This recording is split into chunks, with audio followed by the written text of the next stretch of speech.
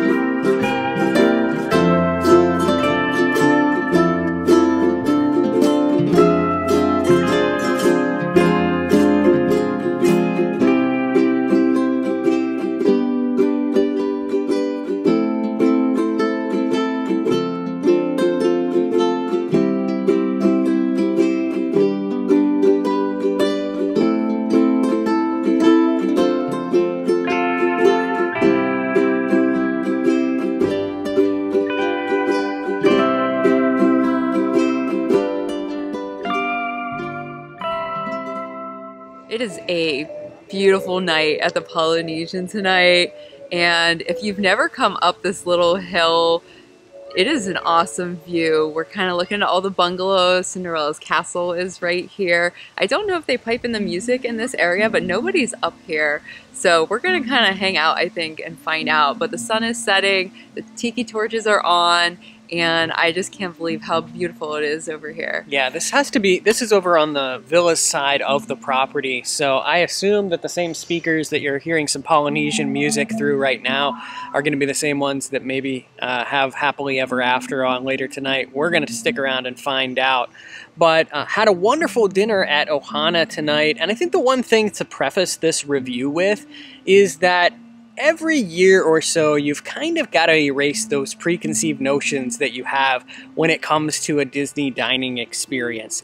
We've heard over the years great things about Ohana, and we've heard terrible things about Ohana and it kind of just ebbs and flows like most restaurants do. You know, you have good days, you have bad days, and we can all remember the dark days of seafood casserole here mm-hmm. at Ohana, but I think those are those are behind us at least.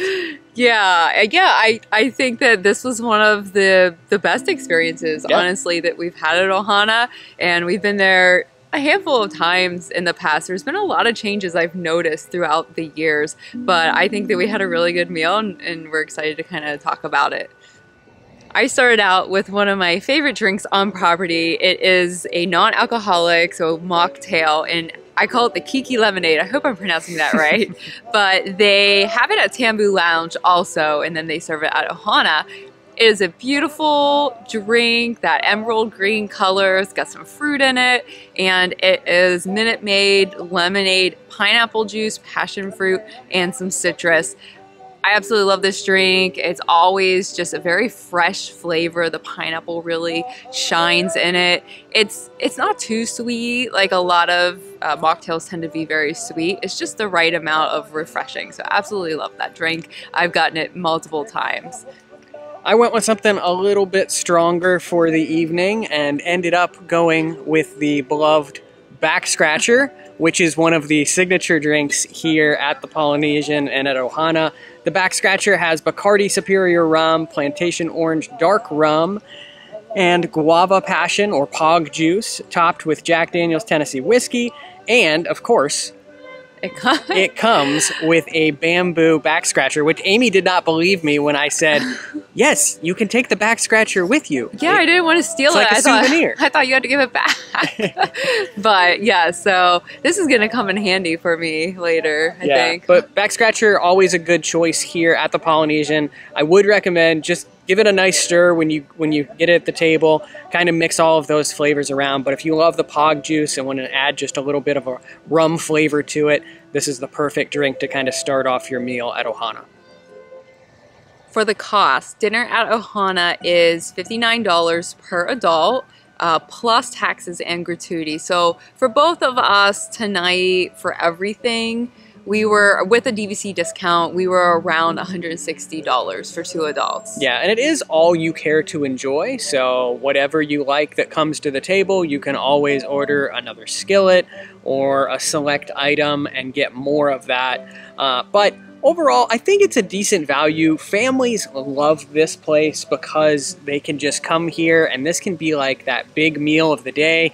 You know, have something light for breakfast or lunch, and then come here and have just a huge dinner uh, full of all of your favorites that you've come to love from Ohana over the years. So I do think it's a pretty decent value. Uh, for me personally, I could, would could probably spend that money at a different restaurant on property a little bit better and enjoy my meal more. But overall, very very happy with the price. The first food item that comes to your table is going to be the Ohana bread, and it is served with a honey butter. And it's kind of like a, a little bit of a coconut, Mhm. right? A coconut type bread. I really like it. It's changed some over the years, but I you can it just has like that hint of coconut, not too much. The honey butter was really good. Uh, I liked it. Yeah, I thought it was a little bit on like the dense and dry side, but when you paired it with the salad that also came alongside of it, I thought dipping that in some of the dressing that came with the salad. The salad's just a basic mixed green salad with a citrus vinaigrette, almost like a creamy Italian, I would equate it to, but very fresh. Everything was great looking on the plate.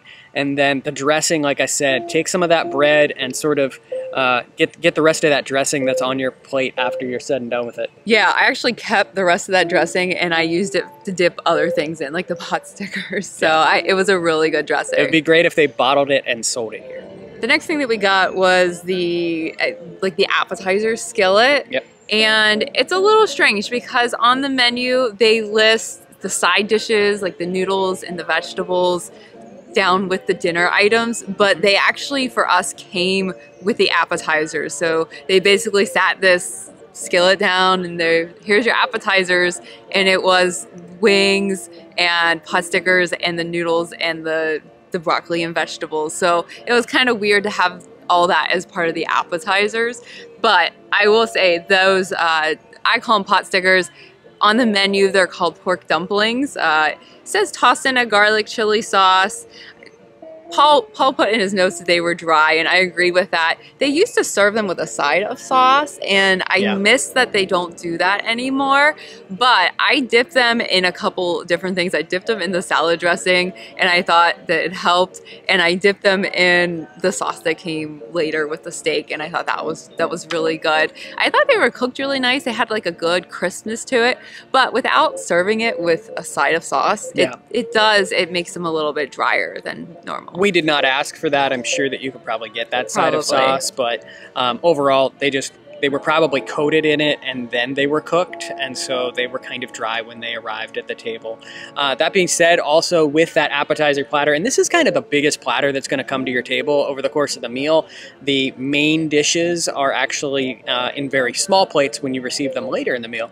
But the noodles are what you can expect from Ohana noodles. They are kind of the signature star of the show, but you were not as excited. Yeah, I, I came for the noodles and they've always been my favorite. I just feel like they were a little different.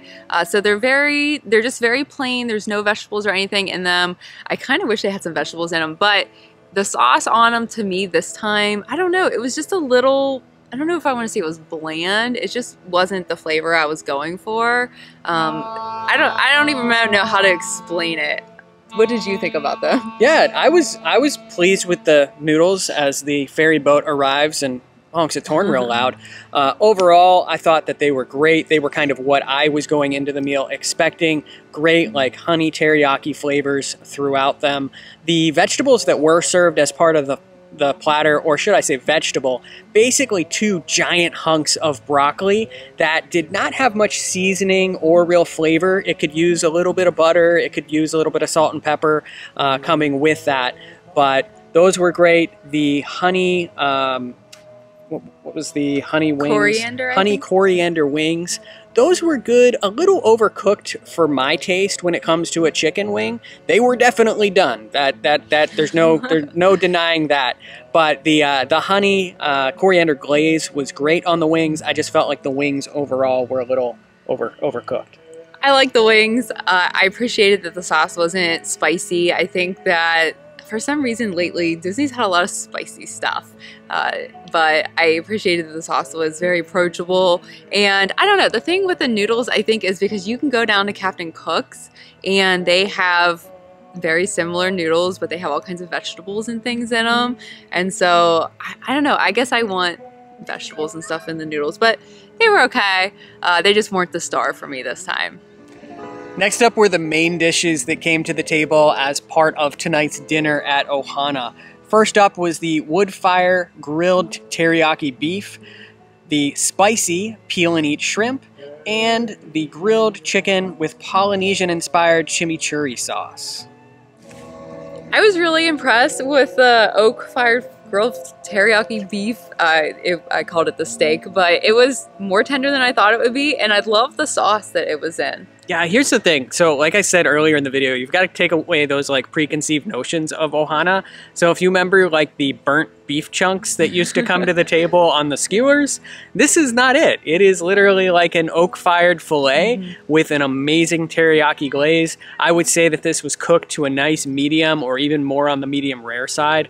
Super tender of all the meats that hit the table tonight, this was probably my favorite, and uh, I definitely could have ordered more if I was not stuffed to the brim with all the other food that we had. Yeah, for sure. Uh, the chicken was good. I like the chim chimichurri, but to me, the chicken was just a little bit dry. So this chicken actually for uh, I I actually had a different impression. So this chicken for me was probably like the second best thing that I ate tonight. What I find odd about the Ohana dinner is you've got the chicken wings that come out as an appetizer, and then you have chicken as a main too. So it's chicken and chicken.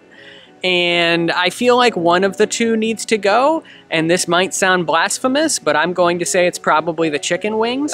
yeah, you're crazy. yeah, but I felt like this chicken was great. I loved the chimichurri sauce on it. It had a nice char to it. So overall, like this was one of my more favorite dishes. Actually, all, all three of the mains. The shrimp as well. Uh, the peel and eat shrimp were flavored very, very well. Um, were a little bit messy in, in the peeling process. I will agree, a, a little bit overcooked, but I really enjoyed all three of them. Uh, yeah, and I didn't know that the shrimp was called spicy shrimp. I probably would have been a little more careful when I ate it, but it was not spicy at all, which was which was a good yeah. thing for me.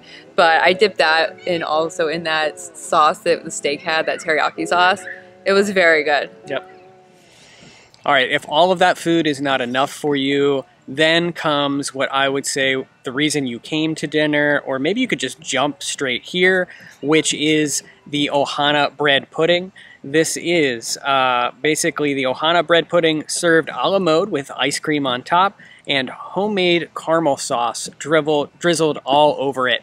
And like I said, I probably could have taken more to go or just come here for this. Yeah, you know, I used to, i have never been a big bread pudding fan, and I used to kind of skip the dessert here, but I thought it was really good today. Mm-hmm. The the ice cream was a vanilla bean. It was the kind that's just you can see, you know, the the little flecks of the actual vanilla mm-hmm. bean in it, and the the cake, the you know the bread pudding cakey part itself. Yep. It just it was like a perfect. Had some pineapple uh, chunks in there. Yeah, a little spongy, little pineappley, coconutty, but but none of the flavors were overpowering, and I just it all really went well together. When I poured the caramel sauce on it, it was so hot I had to use a napkin to lift the little uh, little ramekin thing that it was in. So it just the the hot and cold kind of really worked well together. It was it was an excellent dessert tonight. Amy, Amy took one for the team and has has second and third degree burns now to get the perfect shot of the caramel drizzle on the bread pudding.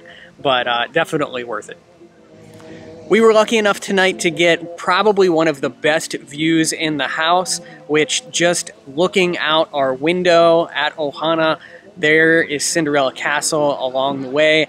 I wish we could have stayed there later and actually yeah. watched the fireworks from that view because it was probably what I would say one of the best seats in the house. Yeah, and this was our yeah, this was our third time eating there and we've never been anywhere near the window. So what a blessing it was to get such an awesome view and I just I just stared out the window most of the dinner. It was just and the the overall atmosphere of the restaurant is really fun. You've got a guy walking around playing the ukulele, singing some of your favorite songs.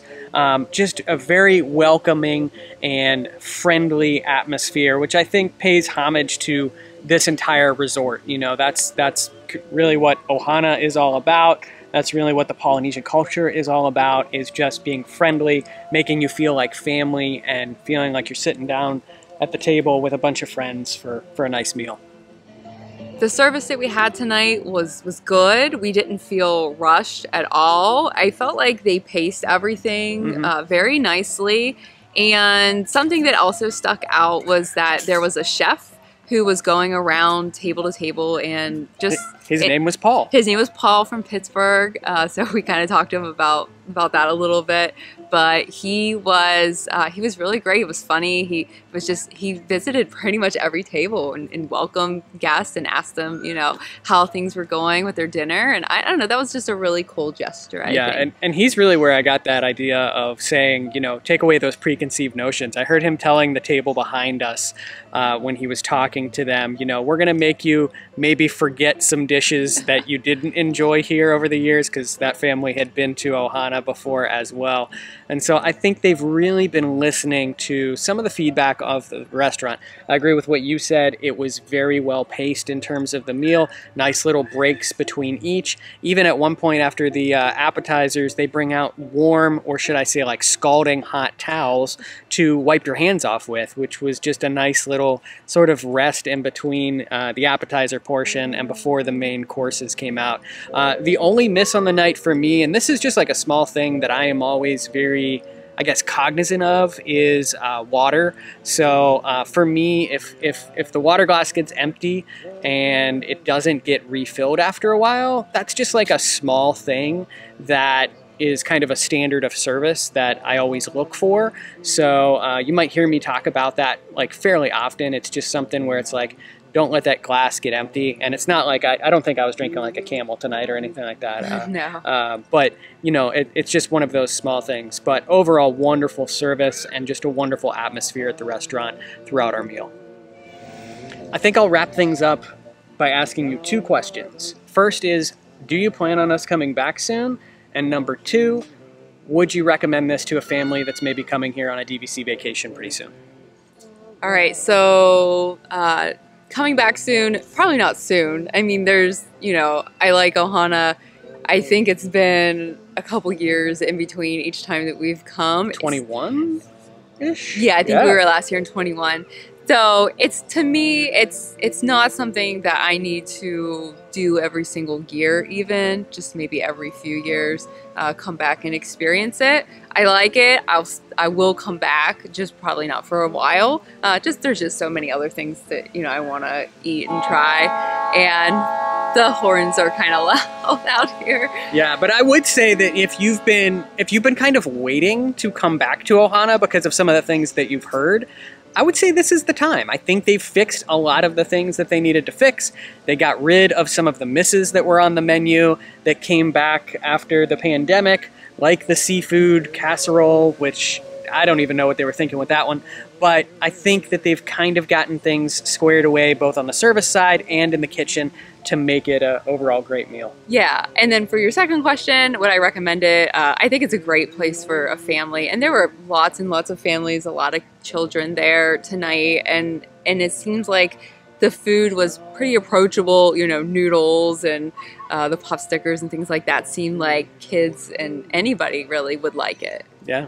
We're getting close to happily ever after, so we're going to sit here and enjoy the fireworks. But hope you enjoyed our dining review of our experience here at Ohana at Disney's Polynesian Village Resort. If you like this video, please hit that thumbs up button, subscribe to our DVC Fan YouTube channel, and also follow along in the conversation at dvcfan.com and within the DVC Fan Facebook group.